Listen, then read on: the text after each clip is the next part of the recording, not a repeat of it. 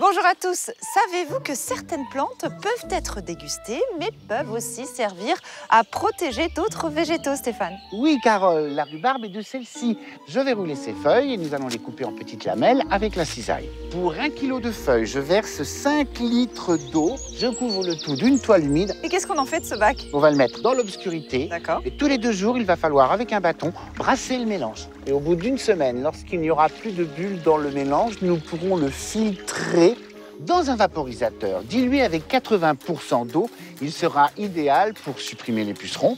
Dilué à 90% d'eau dans un arrosoir, ce sera un répulsif parfait contre les escargots.